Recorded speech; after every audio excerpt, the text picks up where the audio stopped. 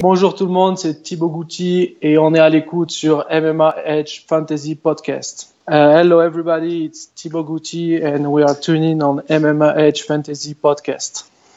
Get ready for an hour and who knows of daily fantasy sports analysis from our panel of experts. Without further ado, let's meet the team. From New York, he's the don of all beast moders, the boat himself, Beast Mode Cow.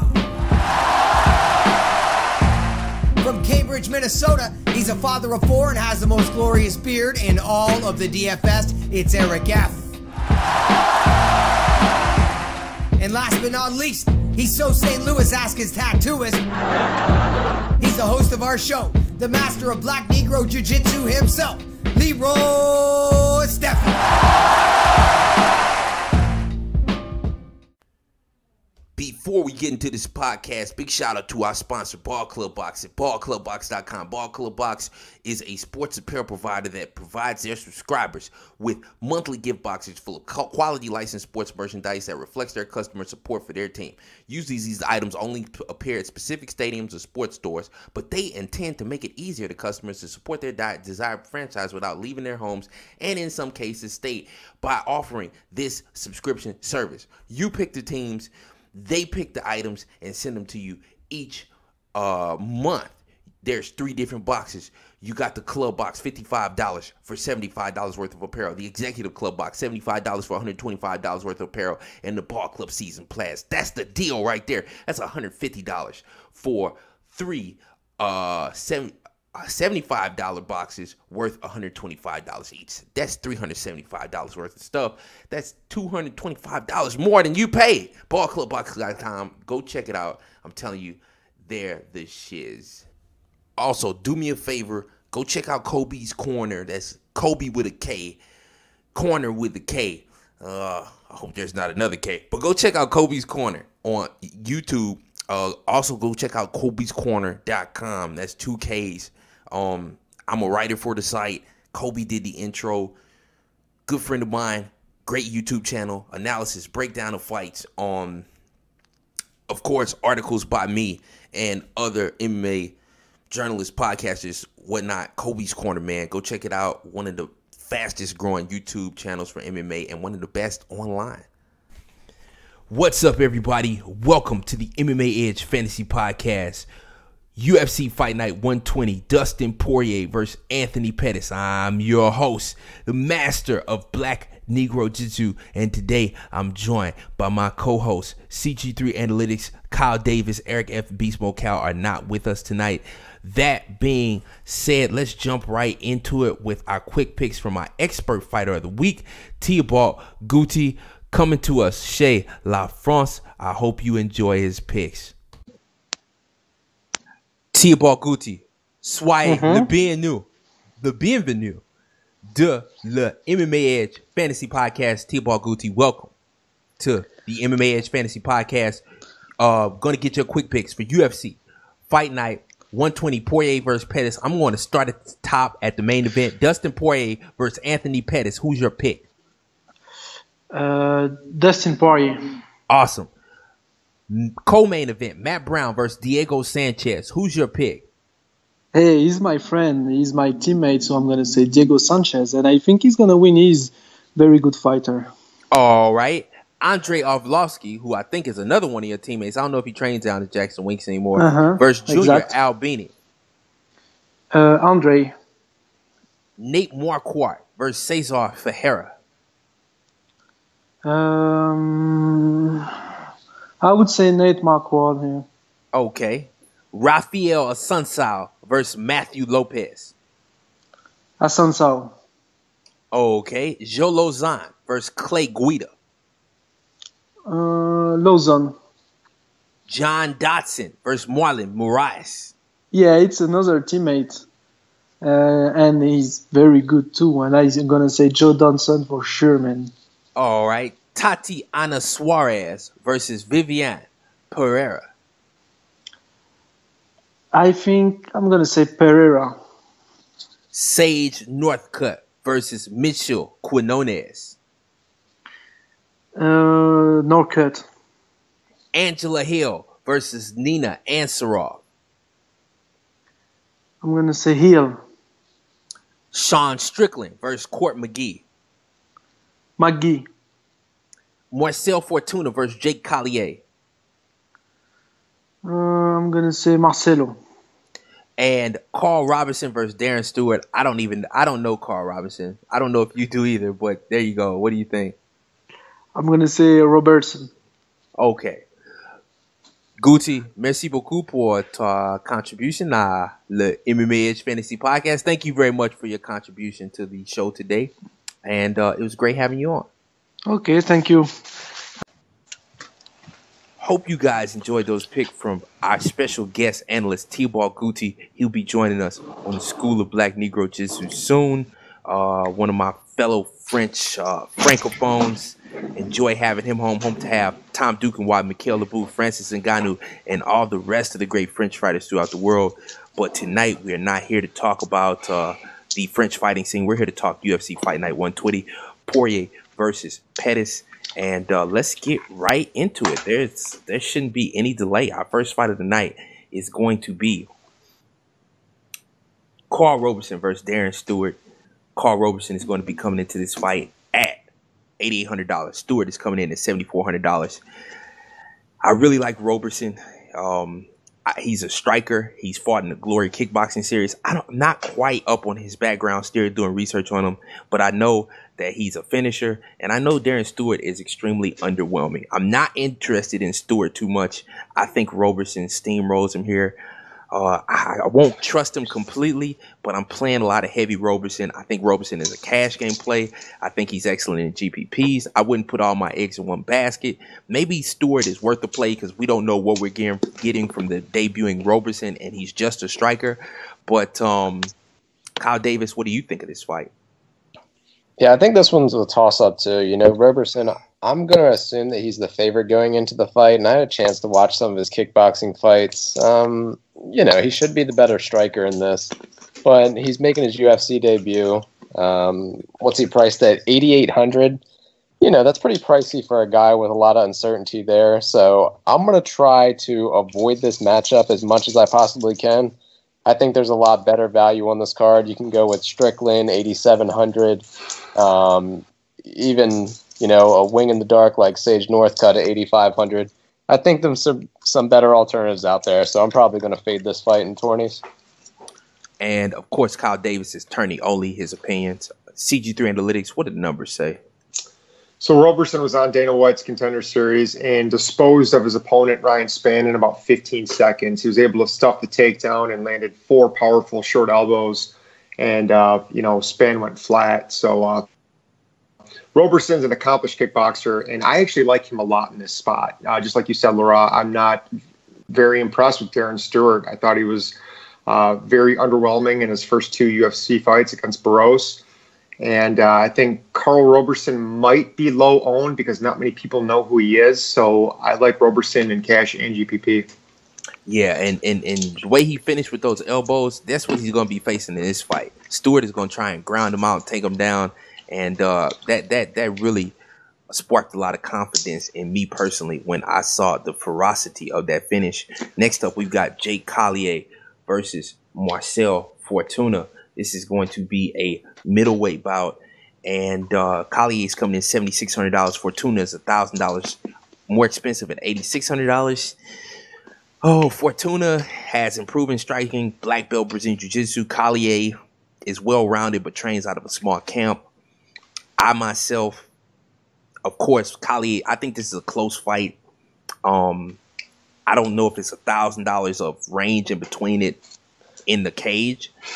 So I like Collier better because he's more flexible. But Fortuna, Collier can be hurt, and he has been in fights, and Fortuna's got some power.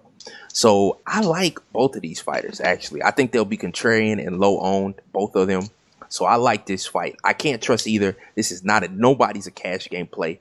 Kyle Davis, what do you think about this fight in GPPs? I like it. Won't have a lot of it because I like some fighters in the same price range, but I, I do love how contrarian it is. I actually like Fortuna in this one. Like you said, he has a lot of power.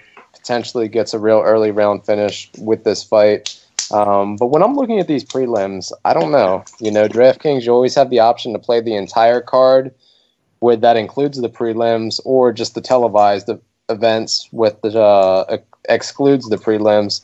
And I think this is a good one. Like if you want to try out just doing the main card, this is probably the best one to do so. Like this card uh, or the prelims, you know, you're looking at them.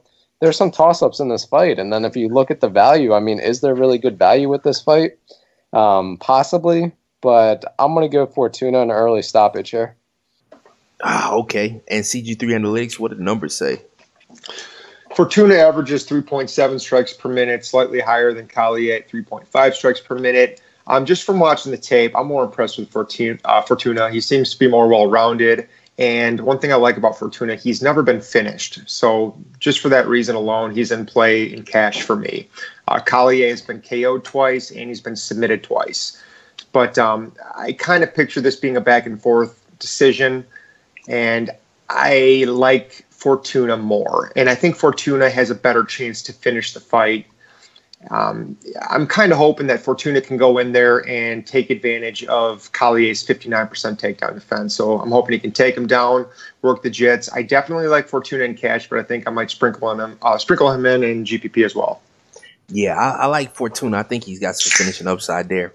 But on to our next fight here, we've got Court McGee versus Sean Strickland, Court McGee is going to be coming into this fight at um, a price of seventy five hundred dollars. Sean Strickland is going to be coming in at eighty seven hundred dollars, and I'm really um, I like Court McGee in this fight. I, Strickland can be low output and inactive. Court McGee is extremely active, as I'm sure CG3 Analytics will allude to in his statistics later. But um, Court McGee, this should be Court McGee never gets blown out. He's extremely he's got an extremely high strikes landed per minute. Um, I think Strickland is a contrarian GPP play, not as good as Fortuna. I don't like the finishing upside here. I think this has decision written all over it. Not sure what Vegas says. I usually go with my gut though, but this looks like a decision to me. So Strickland is not a favorite of mine in GPPs. Um, this should be a super close fight. I love McGee, love his activity. He's a safe cash game play because how many points he scores. Kyle Davis, what do you think of this fight? I am the complete opposite of you here. I'd like Strickland in this fight. Um, I will agree with you that I think this may go to a decision, but Strickland, you know, he was on a little bit of a winning streak before he ran into Usman, but um, you know, that's nothing to really get too disappointed about. Usman's pretty much been running through everybody that he's been facing lately. I do like Strickland here. Um, I think that he's going to be a little bit more active than he has in the past. You know, there's still some potential here with Strickland. Court McGee, on the other hand, you know, he's on the downside of his career. This could be one of those fights where it gets ended early and uh, kind of questions things afterwards. So I would probably sprinkle Strickland in just a few different 20 plays here. Okay, CG3 Analytics, what did the numbers say? So Court McGee is coming in, averaging almost five strikes per minute. So you're right, he is super high output. And Strickland is almost four strikes per minute. So yeah, I think this is going to be a back and forth striking contest, but I think Strickland's going to be a little better on the feet in terms of accuracy. And um, Court gets in there and he's a brawler. I think he gets kind of sloppy and you know he's getting up there in age. My preferred play, Strickland. I I don't know if he can finish Court McGee, but um, I think he can definitely score you around 75 points, which puts him in playing cash games. So my preferred play is Strickland. Okay, I'm on the Court McGee train, but on to our next fight here. We're going to be doing Nina Ansaroff, aka um, Amanda Nunes' girlfriend. Uh, for all of you that, that are confused, man, Nunes is a lesbian, so is Ansaroff. uh, this is I'm not talking about best friends. I'm talking about girlfriends. They live together. And Angela Hill. Oh, no problem. Angela Hill. Um, Angela Hill is coming in nine thousand dollars. Ansaroff seventy two hundred dollars. That's an important um detail because Ansaroff now has like some of the best training partners in the world. Um, she's all and and she trains with the champion of the division above them at bantamweight. So they're fighting at strawweight, and um, of course she's training with the bantamweight champion and all those champions that they have at American Top Team. Her um, striking. What is that in the background? What is this going on? Somebody eating crackers? oh my god, somebody's eating something. But anyway, um, Angela Hill uh, versus Nina Ansaroff. I think this is a super close fight. Hill, um, I don't think she's overwhelming with her fight style, so I don't like her as a GP play or cash play. I don't see the big points.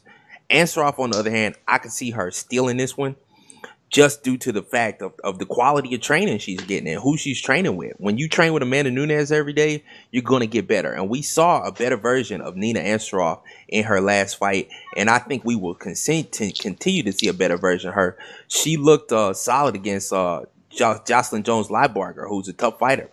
I think we're going to continue to see her get better at a solid clip with the quality of her training partner um, I love her in GPPs, not so much in cash, although she is in consideration because of where she is on the structure and she's a straw weight, so her activity should be high. Her and Court McGee is kind of I don't know, I'm I'm kind of torn.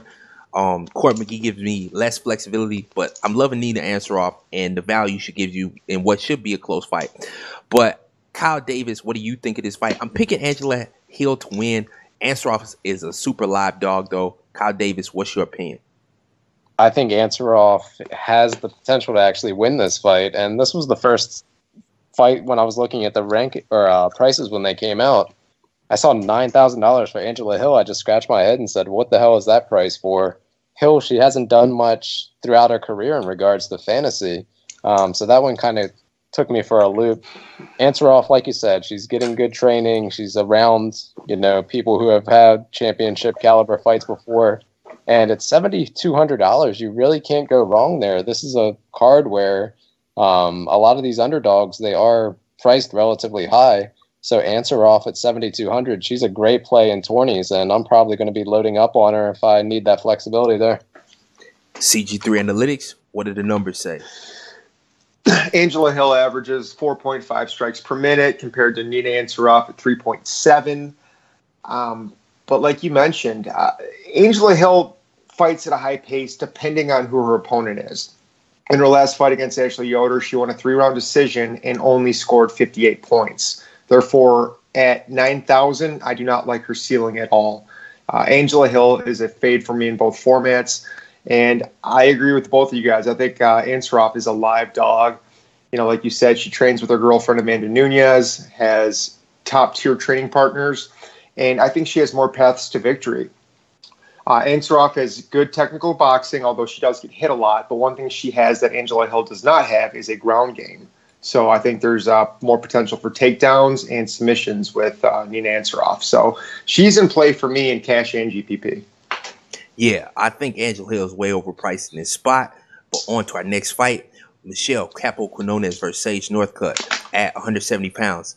Northcutt is coming in at $8,500. Quinones is coming in at $7,700. And boy, I think I think this is going to be a cracker fight of the night. I was actually talking to Michelle Quinones about this uh, this fight when it first got scheduled. Uh, I talked to him a couple days ago about it. He's excited about it. He's expecting it to be a stand up war. I think that two two black belts in Taekwondo. I think that's for Northcutt karate might be for Quinones. He might be Taekwondo too. I don't remember though. But um, this is just going to be a back and forth war on the feet. Quinones has good takedown defense. What happened in his last fight though was he crashed due to two weight cuts in a row versus Jared Flash Gordon. Um, he had two big weight cuts in the, the the span of a month. Gordon, of course, missed weight by like eight pounds for that fight. So that coupled with his weight cuts being on weight for both times, that hurt him. Uh, he also had some problems with his breathing. He got some medication for that, thanks to the school Black Negro Jitsu and Dr. Yair Vasquez. So if he wins, we're getting a shout out post fight.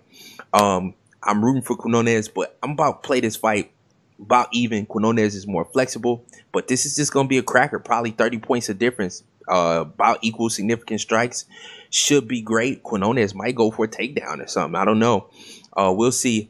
But Kyle Davis, what do you think of this fight? I'm playing it even GPPs. No, no in cash. Neither of these two fighters are flexible enough for me in cash. But what do you think? I'm actually probably going to fade this fight. Like you said, it's probably going to be a stand up fight, so we don't have to worry about those takedown points or any of the points that you typically get when the fight goes to the ground. This is a complete coin flip for me. You know, Sage Northcutt coming into the UFC, there was a lot of promise. Looked like he was a superstar in the making and then pretty much just fell off once he got here.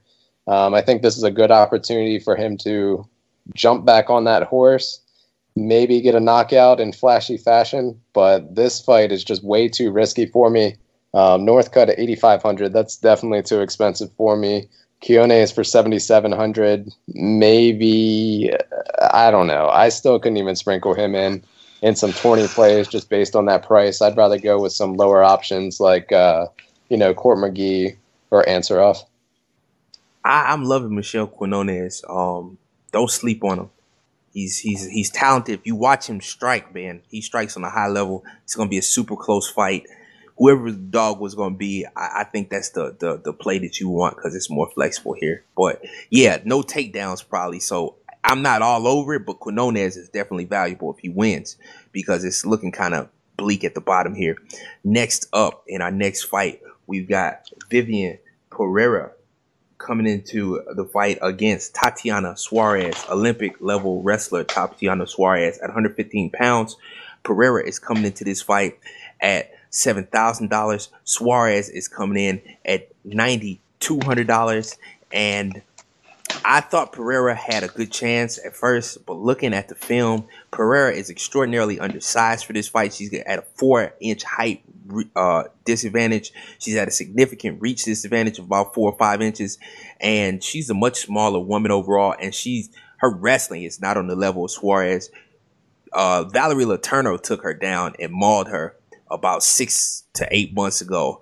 That was ugly. Valerie Letourneau is not a grappler. That being said, um, I am absolutely uh, on Tatiana Suarez. I love her as a play. I think she dominates. I don't think Pereira could improve her wrestling that much in this short of a time. Pereira is in play though, but she won't score much in a win. I say that, but at that point, the price range, what does it matter? Um, Kyle Davis, what do you think of this fight? I love Suarez in cash. Love her in GPPs. Don't know if I can fit her in in cash, but I think she's a cash game play. What do you think of this fight though? I think Suarez gets the win here, but at 9200, that's way too expensive for, you know, you're expecting her to take Pereira down, kind of hold her down and get those ground and pound points. There's a possibility there. I always prefer early knockouts, and whichever fights have that potential, that's usually what I lean towards. And Pereira at the same time, she's this is pretty much both of these people are undefeated. Um, Pereira, you know, she is undersized, but she is scrappy as well. And it's seven thousand dollars. You know, if you want to throw her in some twenty plays just to get a little bit more flexibility with loading up some bigger locks, I mean, I'm completely cool with that.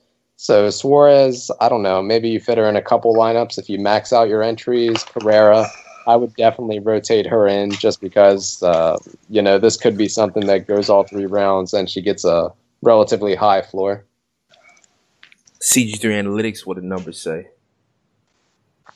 Suarez secured three takedowns in her last fight and scored a first round submission. Uh, she is a very high level wrestler, and Vivian Pereira has 50% takedown defense. So there's not a whole lot of fighters that I like at that $9,000 range, and Suarez is my favorite of them all. Um, you know, I understand a lot of people are looking for those first round finishes, but if Tatiana Suarez can lock up five to six takedowns, numerous advances, some ground and pound. She can very easily put up north of 100 points. So I like Suarez a lot, but every time I bet against Pereira, she comes back to haunt me. You know, she beat Letourneau, she beat Jamie Moyle. She's very tough, but I just think this is a bad matchup. So I like Suarez in cash and GPP. Yeah, Letourneau and Moyle. I think Moyle might have been injured, and Letourneau went through a deadly weight cut. So I think she's been getting kind of lucky. I think this might be where her luck runs out, but she has been pulling off these upsets. So I'm probably going to throw her in because uh, she's she's been burning me. Anyway, next up, next fight, John Dodson versus Marlon Moraes. Um, John Dodson is going to be coming in at eighty three hundred dollars. Moraes coming in at seventy nine hundred dollars. This is a uh, fight that's going to be taking place in the bantamweight division, 135 pounds. Marlon Moraes is good, but is he as I, I just think of John Dodson. I think Moraes being a level below that.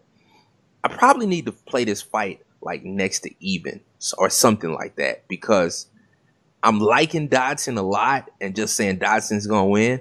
But Moraes is talented. I just figure Moraes is not on John Dodson's level. Like he's good, but like he showed in his last fight, not as good as they were hyping him out of uh, coming out of World Series of Fighting.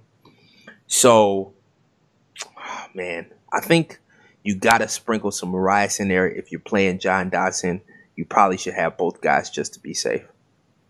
I think that's the way to go. This is a no-no in cash, unless you don't have any choice but to go to this fight. Um, probably it, it, probably won't score very highly either.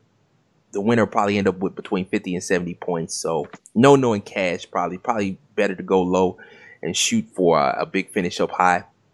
Um, Kyle Davis, what do you think of this fight? I agree with you. I think for this price, you sprinkle both guys in some 20 plays. Um, ultimately, I don't think it's going to be extremely high scoring for the winner. You know, maybe they are in that 70 round. Um, I give the, I'm going to go Dodson in this fight. I think he pulls out a decision. But Dodson, his style is very in and out, in and out. You know, he'll land a couple strikes and then he's immediately out backtracking before he does it again it's not one of those crazy high volume fights where he enters, you know, they exchange, they stay close to one another. I think it's going to be Dodson just picking him apart from the outside, using his speed and quickness. And Moraes, you said there was a lot of hype going into the UFC. He didn't really do too great in his debut, um, but I think still with his power, you know, you can sprinkle him in. And since these two fighters are relatively even priced, uh, feel free to sprinkle those guys in. No issue there. CG3 Analytics, what do the numbers say? so Dodson averages 3.3 strikes per minute. Not super high output, but you have to remember for a bantamweight, Dodson has a ton of power. Um, he's a southpaw, which throws a lot of fighters off. He has 84% takedown defense, so he's going to make Moraes stand and trade with him. I think Dodson is going to be a staple in the majority of my lineups, cash in GPP. I mean, you look at Moraes. I mean, he lost his last fight to Rafael Assunção, and Assunção only led he only landed 43 significant strikes. I mean, if he can't outstrike Assunção, he's not going to be able to outstrike Dodson.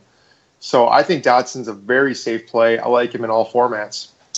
Yeah, that's kind of how I'm feeling, but I feel like I should show Moraes uh, respect. Maybe not in the 20 entry max though. I might try and throw him into something else. On to our next fight, though, a fight that I'm very excited about watching. Clay Guida at 155 pounds versus Joe Lauzon. This is an $81, $100 fight, uh, even fight. And you know LeRoi Stephon's rule. If it's priced even, you should play it even. But in this fight, I'm liking Clay Guida. Uh, Lauzon needs to really get his wrestling going these days to get started, and he's not going to do that against Clay Guida and so he's he's got his very mediocre striking game that's left, and I don't think he outstrikes Clay Guida. Uh, Clay Guida's last performance against Erik Koch was super impressive. Erik Koch is a much better striker than Joe Lauzon, at least cleaner. And um, I just don't. And Lauzon, t- uh, does he tend to fade? I know he faded in the last fight. Absolutely, ha- he does. Yeah, yes, it happens every okay. fight. He's he's a one round fighter and Clay Guida never fades. So this is a bad matchup for Joe Lauzon. I'm not playing this one even at all. I love Clay Guida. Clay Guida and more Clay Guida. Kyle Davis, what do you think of this fight? Complete opposite here. You know, Clay Guida, he's a guy who's been around for a while. Um, he does have that impressive cardio, which he does or should be better in Lauzon with that aspect. But remember, Guida against Koch, you know, he brought him to the ground and pretty much laid on him. Is he going to be able to lay on Lauzon like that? Probably not. Lauzon, he's one of those guys with a real dangerous guard, so Guida might not be too enticed to actually go down to the ground with him. Um, since this price is com- priced absolutely even, I'm going to be doubling up on, well, not doubling up, splitting these guys evenly between uh, the rosters that I'm putting out there. But I think this one has the potential for extremely high points, especially if it goes to the grounds. We can see a lot of different takedowns, a lot of different advances. Um, I wouldn't be shocked at all you know, 15 round or 15 minutes of this fight, 10 of those minutes is spent on the ground. Um, so I'm definitely going to be loading up on both of these guys for 20 plays. Yeah, um, I, I I don't think it. Uh, Guida even needs to go to the ground. He could just keep it on the feet and just outwork Lauzon. But CG3 Analytics, what did the numbers say? Clay Guida averages 3.5 takedowns per 15 minutes, and Joe Lauzon has 54% takedown defense. So I don't understand this. I think I thought Guida was going to be a much bigger favorite. Look at Joe Lauzon's last fight, last three fights. I mean, my opinion, he lost all three. Lost to Stevie Ray because he faded. Lost to Marcin Held because he faded, and then he lost to uh, Jim Miller. I mean, he, he's very strong in the first round, but after that, he just fades, and you can't fade against Clay Guida. So I like Guida in cash and GPP. I think he can get you a lot of grappling points. Yeah, I, I, love Guida. I don't even feel like hedging with Lauzon. I think we we know exactly who Joe Lauzon is, and we know exactly who Clay Guida is. I don't think there's any doubt about what these guys bring to the table. And Guida is a horrible matchup for Lauzon, especially considering his gas tank. On to the next fight, though. Rafael uh, versus Matt Lopez. Um, Matt Lopez is going to be coming into this fight priced at sixty nine hundred dollars. Rafael Assunção is priced at ninety. dollars $300. And oh man, as far as I am concerned, um, I'm not too much on this fight at all. I think Assunção takes it, but man, should I play some Matt Lopez? He's a pretty damn good fighter. Like, but Assunção doesn't get taken down, and I don't think Matt Lopez is the better striker in this one. That being said, uh, instead of wasting entries on Vivian Pereira, I should pro- or Diego Sanchez. I should probably be playing uh, Matt Lopez, who just KOTKO Johnny Eduardo. I mean, this is an impressive fighter. Um, I I just I just started added Matthew Lopez to my playlist. So I was sleeping on him. No A Assunção under any circumstances. A Assunção never scores over 80 points in any matchup. So none of that for me. But Matt Lopez, I'm liking that. I'm liking that in GPPs. Maybe not cash, but GPPs. I like it. Maybe cash, but we'll see. Um, Kyle Davis, what do you think of this fight? I think the Assunção is going to take this fight by decision, but at the price that Matthew Lopez is at, I'm not sure how you could avoid him in 20 plays. You know, Lopez, he is a guy who kind of comes out of nowhere. That Eduardo finish, that was pretty shocking. And you know, like if you insert him into your lineup, that's going to give you flexibility for many, many other people. So whether you want to load up on Matt Brown, Tatiana Suarez, there's a lot of different people that you'll be able to fit into your lineups just because he's priced so low. And Assunção, typically, he doesn't get finishes. So Lopez, even if he loses, he's probably going to be in there for 15 minutes, getting those floor or uh, you know those quick point so I think he has a relatively high floor in this price, and at 6,900, you got to play with him in some in 20s. CG3 Analytics, what did the numbers say? Assunção averages 3.3 strikes per minute, about 1.4 takedowns per 15 minutes. But like you said, he, he never really scores highly. So at his price, he's a definite fade for me. And I am intrigued by Matt Lopez. He averages 3.2 takedowns per 15 minutes. He's a young, hungry line coming up in that division. And yeah, I mean, Assunção does have 80% takedown defense, but he is getting up there in age. So if Lopez can land a few, if he can just win two out of three rounds, score some grappling points, he's definitely going to make value. So I like Lopez. I like him in cash and GPP. He's yeah, definitely my I, preferred play. Yeah, I like Lopez, man. I, he's a great fighter. I was just counting him out against the Assunção, but no longer. He has been added to my playlist down there at the bottom. We will have Matt Lopez probably in the place of Diego Sanchez here, or maybe both of them. I don't know. Matt Lopez is a hell of a play this weekend. Anyways, on to our next fight. We've got Nate, the great Marquardt, one of my very most favorite fighters in the entire UFC, going up against Carlos Fe, uh, Cesar Ferreira, excuse me, Mutante. Um, man, I don't like this fight at all. $9,100 for Mutante, $7,100 for the Great. If you want to throw a, a, dart at the Great, you can, but he's slow now. He's older. Mutante is faster. He doesn't have any grappling deficiencies. He's just as good of a striker, probably the more flashy, deep striker. Marquardt is older and slower now, so Mutante should take this, but I won't have any of it in cash, none in GPPs. Kyle Davis, what do you think of this fight? I think your favorite fighter is going to be going down in this one. I think Ferreira, he's a guy on the upswing. Marquardt, you know, like how much longer does he have? How much does no. he have left in the tank? That's something He's, you're going to have to ask yourself going into this fight. And I just don't think that, you know, wh- how does he really end this fight? Early knockout? Does he have the cardio to go three rounds?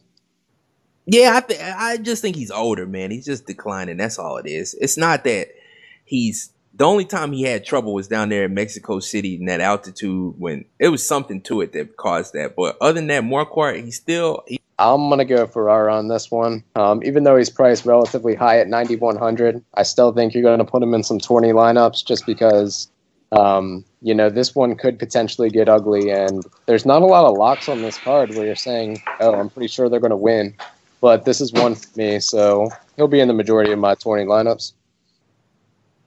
CG3 Analytics, what did the numbers say?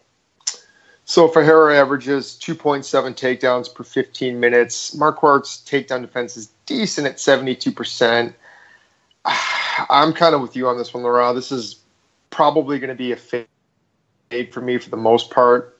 Probably have more exposure to Ferreira, but I would rather just pay up a 100 bucks and go with Suarez. I think she has a higher ceiling, and you look at Ferreira's uh, DraftKings log, and he I don't think he's ever scored more than 90 points. I don't think he's ever reached 100. So, yeah, for the most part, this fight's to be a fade for me. Okay, we are on to our next fight. We got Junior Albini versus Andrei Arlovski. Junior Albini is coming in at eight nine hundred dollars. Arlovski is coming in seventy three hundred dollars. I lo- I love this fight in GPPs. I don't like so much Arlovski. Junior Albini completely destroyed Timothy Johnson, and nobody's ever done that. Really liking Albini, but should I hedge with some Arlovski? everybody's telling uh, my my black market picks co-host Travas told me I would be crazy for that. Don't waste my money. Um, I'm thinking Albini and cash though. Am I crazy, Kyle Davis? Uh, he gets hit and he crumbles. I think this is a bad spot for him. Kyle Davis, what do you think? Albini all day in this one. He might be a 100% play for me in 20 plays. I just think at a card where there's not so many locks, this one has the potential for a real early finish. And Arlovski, what has he done in his previous fights other than crumble? There's no reason for you to give him any hope in this situation. And Albini, you know, he's a guy who's on the upswing. I think this could be potentially the last fight of Arlovski's career if it's an ugly knockout. CG3 Analytics, what did the numbers say? Arlovski is on a five fight losing streak and his chin is completely deteriorated. But um, so Albini's Albini's definitely my preferred play. But you know my philosophy. I like those low dollar heavyweights. And you look back at Godbeer this past Saturday. I mean, let's not talk about how he won, but he did win in DraftKings and put up over 90 points. So uh, Albini is my preferred play, but in tournaments I will hedge a little bit with Arlovski. Yeah, um, I'm loving Junior Albini at this point. Probably should add in some more Arlovski, but it feels like a slaughter uh, for the young young line here. And it's too early to reference Walt Harris after last weekend. You got to give me like another month to cool down from that one. yeah, I'm not so pissed though. Cody Garbrandt did more damage than Walt Harris did to me that night, man. Cody Garbrandt ripped my heart out. Anyway, on to our next fight: Matt Brown versus Diego Sanchez. At uh, I believe this fight will be at a is it 170? This is a welterweight contest or this? Yeah, 170. 170. Okay, this it's a it's a welterweight contest. I uh, it should be a hell of a fight. So I guess both sides are in play. Uh, Matt Brown is a little too expensive, but hell, you can fit him in, get him in. Diego Sanchez, Matt Brown is hurtable. Diego Sanchez can hurt you, and he's gonna come to fight. So I like Diego Sanchez. Um, he's uh, Matt Brown is hurtable to the body. Diego Sanchez can do that. I like Diego Sanchez. Rose not whenever we got a, a skilled veteran or, or, at the very bottom of pricing tier, that's a mistake that we want to take advantage of, like with Rose Namajunas. Let's not miss out on Diego Sanchez, Matt Lopez. Let's take advantage of these cheap fighters. Um, Matt Brown, I, I just love this fight in general. It should like it's got great finishing potential. Play both sides of it. Kyle Davis, what do you think? I just realized while we were talking about it, these are two of my previous favorite fighters of all time. Finally duking it out. This fight probably should have happened five years ago, but um, I'll take it for this weekend. Uh, this is a this is an extremely weird fight. You know, Diego Sanchez. He's been a little chinny recently. Matt Brown at the exact same time. You know, he gets hit with a good body shot and he crumbles. Um, I'm looking at the pricing. You see Matt Brown all the way up at 9,400, and this is a retirement fight for him. So I'm sure he's going to want to go out with a bang, preferably an early knockout. But that's going to be relatively hard to do. You know, Sanchez comes charging. He's just one of those warriors. He's been in the game for so long. Uh, but I don't know. I would actually sprinkle Matt Brown into the majority of my lineups just because I think there's so much on the line for him. And Sanchez, he's one of those other guys who's been deteriorating. You know, he's got the experience under his belt, but his body, much like Matt Brown, there's just been in so many wars. I think Matt Brown's going to connect with something powerful early and put it away within the first round. CG3 Analytics, what did numbers say? Have Matt Brown averaging 3.8 strikes per minute, but is coming off a three fight losing streak. I just don't know how you can be comfortable with him at 9,400. I mean, I know Diego was knocked out in two of his last three fights, but Diego is still one tough son of a bitch. And like you mentioned, Brown can get hurt if you go to the body on him. So I don't know. This t- to me, this is this is almost a coin flip. I don't think that Matt Brown should be as big of a favorite as he is. He hasn't been reliable in a long time. So for the most part, this fight is going to be a fade for me. Although from a fan perspective, I love this fight because I've been watching these guys for a long time. Yeah, I'll say it. I'm going to load up on Matt Brown with the caveat that he could very well screw me over and pretty much destroy my night.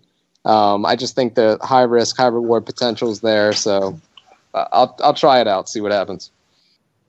All right, yeah, I love both sides of it. Matt Brown is super hard to fit in, though. I've been trying it, and it's hard. Anyway, on to the main event of the night Dustin Poirier versus Anthony Pettis. Dustin Poirier is coming in at $8,000. Anthony Pettis, $8,200. This fight is taking place at 155. And I don't know how to call this one. I'm thinking Anthony Pettis. Dustin Poirier is hurtable. Anthony Pettis has improved his wrestling. He's pretty good off his back. Dustin Poirier, he's got good power though, and he's got good wrestling that's frustrated Pettis in the past. But like I said, Poirier is chinny and hurtable, and Anthony Pettis will hurt you. Uh, I'm just kind of playing this one even at the point, this point, because I don't know how to call it. But I want this fight in every lineup. How do you guys, uh, how do you feel about this, Kyle Davis? I'm just kind of playing it even at this point. I don't know how to call it. Can't trust either guy. Yep, I'm in the exact same boat, and thankfully for us, these two guys are relatively priced, very similar to one another. Um, Poirier, he was a guy that when he first came into the UFC, you know, he was pretty much jumping, jumping. You heard some uh, advice from Tim Crater saying, "Hey, this guy could be the next best thing." And his first couple of fights in the UFC, he did look like he could be a potential superstar. Then he ran into Conor McGregor. I think that hurt his confidence. Then he started playing the uh, what weight class am I am game. Um, that's been resolved, you know, and I think now he's a more complete fighter than when he first came into the UFC. I think there's still some potential there. Like maybe he's one of those guys who could potentially fight for a title one day, depending on how many of these guys that he knocks off. And I think Anthony Pettis, that's going to be a good stepping stone for him. You know, Pettis, he's a former champion. Um, he's not too far along in his career, so if he wanted to make another championship run, he obviously could, considering he just fought for the title. But this is going to be a real important match for Poirier, and I think he steps up here. I could see this one going all five rounds. I could see it stopping early. Um, but like you said, I'm going to play this one pretty even and just kind of sit back and enjoy the main event, hoping that uh, it goes relatively long and both these guys gets tons of points. CG3 Analytics, what did the numbers say?